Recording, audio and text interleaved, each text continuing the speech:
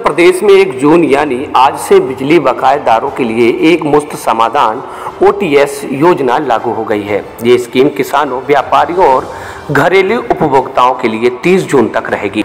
गौरतलब है कि उत्तर प्रदेश के मुख्यमंत्री योगी आदित्यनाथ की पहल पर राज्य सरकार ने मंगलवार को बिजली उपभोक्ताओं के लिए वन टाइम सेटलमेंट ओटीएस योजना शुरू की है। ये स्कीम 1 जून से लागू हो गई है।